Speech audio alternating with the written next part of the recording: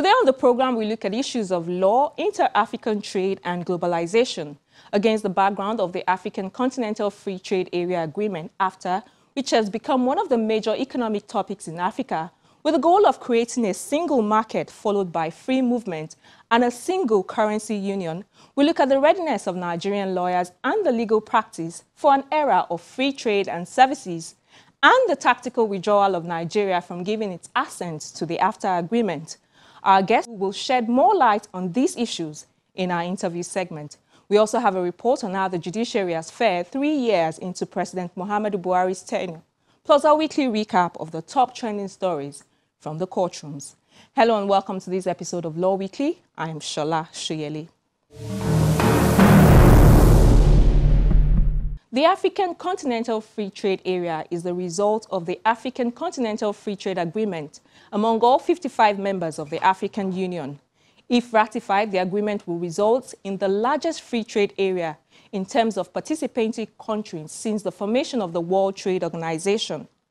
African heads of state gathered in Kigali, Rwanda in March 2018 to sign the proposed agreement. 44 of the 55 members of the African Union signed it on the 21st of March 2018. Nigeria tactically declined to sign. President Muhammadu Buhari was reported to have been particularly reluctant to sign if it will hurt Nigerian industries and entrepreneurs. The United Nations Economic Commission for Africa, however, estimates that the agreement will boost intra-African trade by 52% by the year 2022. While Nigeria is still consulting over the issue, there are many business lawyers who believe that it is a step in the right direction, and the country must begin to prepare for an era of intra-African trade. To shed more light on the issue is a commercial lawyer with extensive experience in corporate law and restructuring, corporate and project financing, construction and infrastructure, and energy law. Mr. Oke Ebuchu is also a council member of the Nigerian Bar Association section on business law. I began the interview by asking him to first explain the relationship between law and trade. Well, law is the foundation of every business trade because when we have an agreement, that is contract, that is law. When countries have agreements to trade with each other, either in intra-Africa or world over, that is business, that is law. That is a treaty that regulates that relationship. You have many of them like NAFTA, the European Union, they have treaties that regulate trade. So the difference really is sometimes it's formal, like I just mentioned treaties or contracts. Sometimes it's informal. I can have an agreement with you. Please bring this to me, I'll pay you this. We've not written down anything but we have had an agreement. And if we need to prove it, we have to testify. These are the differences. You know, otherwise, law is the foundation of every single trade or business that we do, and it orders our rights and duties and expectations. If you were to do a critical analysis of the legal market across Africa, how would you describe the status of inter-Africa, that's cross-border legal services across the continent? I think it's very low. Um, from my own personal experience, what we do get is we, you know that lawyers practice in different jurisdictions. I can practice in Ghana, for instance. So what we basically do is we brief each other in different jurisdictions for, to protect our clients' interests. Sometimes we have to do a linkage in many countries with all the lawyers in all those countries, protecting the interest of our clients. To that extent, yes, it happens.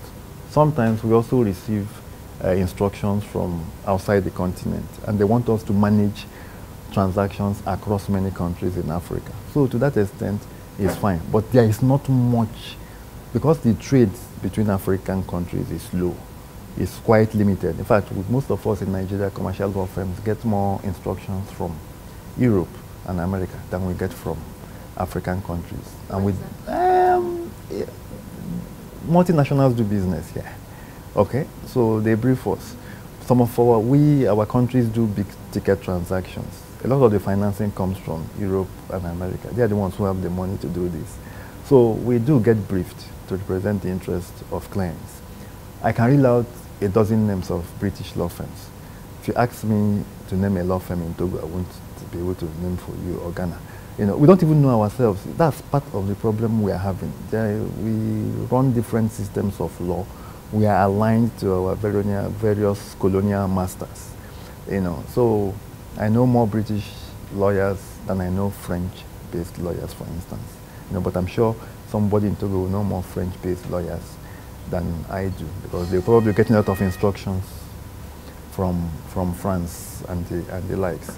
So these are the issues, but we are getting there as business grows in Africa and as multinationals develop the Dangotes of this world, they will take us across, they will take their lawyers, we Nigerians, across their different jurisdictions and the cross-border uh, briefs will grow bigger and so, better. So that's the stage that we really need to get to? Uh, we will, eventually.